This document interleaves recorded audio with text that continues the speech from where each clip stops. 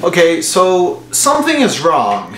Something is very fundamentally incorrect. You may have read the title and been like, oh man, this is just clickbait. There, there's absolutely no way. The worst chapter in Fairy Tail is you cannot be serious. The series is ending soon. There's no way things can get any worse than they already have been. There's just nothing else Mashima can do to make this worse. Surely he's just gonna finish this series on a high note, you know, just give us a bunch of fan service, a ton of stuff that we, we've always wanted to see. Just have a huge, awesome looking action-packed finale. Story be damned at this point, but, but whatever, it'll look cool. That's not what happens. That is not what happens. This is the chapter where Acnologia dies. Acnologia, one of the biggest threats throughout the entire series, has been defeated. And you may argue, oh, what if he comes back? You never know. This chapter confirms that there are only 10 chapters left, but like a volume more worth of content, that is it. So there's really no more time to pull any more bullshit. Like, this is it. Acnologia, he was pushed into the, the ravines of time or whatever the fuck, and he disintegrated, he now ceases to exist. What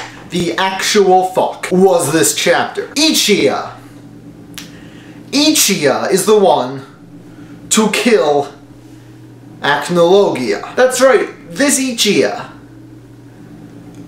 This Ichiya. Not only has he never really been an important character, and not only is he almost always comic relief, not only is almost no one's favorite character Ichiya, like do people even like this guy? But despite all of that, he is the one to sacrifice himself to kill Acnologia.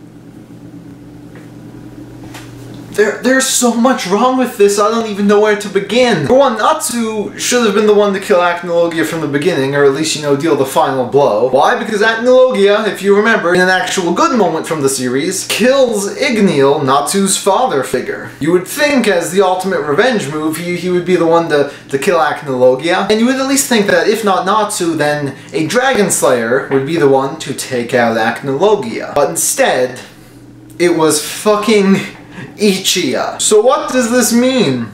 Well, it means that throughout the entirety of Fairy Tail, the entire series, all 63 or 4, however many volumes they're going to be, all of that time, not a single dragon was slain at the hands of a dragon slayer. Then what the fuck was the point of having dragon slayer magic in the first place? Not a single dragon is killed by a dragon slayer. Like how how incompetent can you possibly be to build up Dragon Slayer magic for the entire series? Like, that was the whole thing. That's what set Natsu apart from everyone else. What made people like, you know, Sting and Rogue and Wendy, all, all these people special. It was because they had the ability to kill a dragon. There's only one dragon still around, and he's super evil, and he wants everyone to die. So obviously, you would come to the conclusion that, oh, we're finally gonna see these Dragon Slayer powers put to use to kill an actual dragon. But instead, we get a horseshit comic relief character that I, I guarantee no one cared about decides to sacrifice himself, drive his ship into Acnologia, pushing him into the stupid time vortex portal, whatever the fuck, and he gets disintegrated into nothing. That was it. There are 10 chapters left. You can't really do anything else at this point. And what's even worse is that we did not learn anything about Acnologia. You know, ever since we saw his human form, I was like, okay, this is pretty much guarantees. We're gonna get a flashback. We're gonna learn all about this guy. He's going to become a much more interesting and well-developed character. Maybe not well-developed, but you know, at least developed somewhat. Now he's gone. There's not enough time left to flesh out the type of person Acnologia was. And we didn't know anything about him.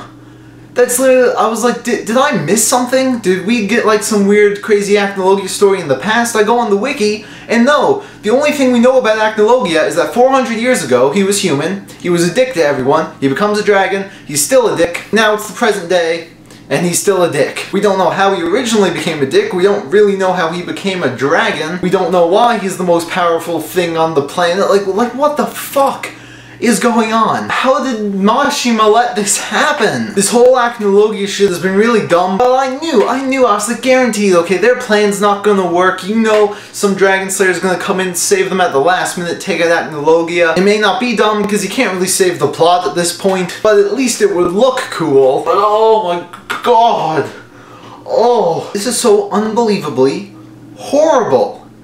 This is like if one of those goofy frog characters killed Madara. This is like if Oolong killed Frieza. People would joke about stuff like this, knowing that it would never actually happen because it's so god-awfully stupid. I seriously want to believe that, that this chapter was just fake, like it didn't happen. Mashima wrote it one time when he was drunk and then accidentally handed this draft into the editor. But of course, this was only half the chapter. Uh, Natsu is fighting Zeref, you know, Lucy did that weird shit, she was rewriting his book, I don't even know what the fuck was up with that. So it looks like Zeref has been defeated now too, which I mean, there's 10 chapters left. This very might well be the end of Zeref, which was also terrible, but Jesus, I mean, at least Natsu fought him. But you never know, fucking Happy might still go in for the final blow. I can't believe it. I, I truly cannot believe it. Volumes and volumes worth of content of build up, building up the Dragon Slayers, building up Acnologia, just all falls apart in this one chapter. Jesus Christ. I can't do this anymore. I need to go. Uh, thank you guys so much for watching. You, uh, suppose you can leave your thoughts in the comments below. And, uh, fuck, new episode of Manga Alert tomorrow.